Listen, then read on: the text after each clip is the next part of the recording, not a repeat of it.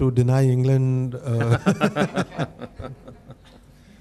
uh, look, no, there's no added incentive. Um, you know, we don't really want to finish like we did tonight, I'm sure. Um, but you know what? You know, England again, they're a very, very, very good team, um, and they've got a point to prove to a few people as well. So, you know, we're going to have to be at our very best uh, come Sunday. But you know, you never know.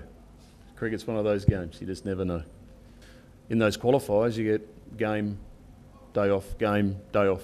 So it's brutal. Um, the way that you know Scotland nearly uh, would have been great to see that game play out against England. You know, they they could have pushed them hard. Um, but the Associate Nations shouldn't be discounted either. We're trying to grow the game of cricket. It's called a World Cup, and I think the 20 team format was was done pretty well.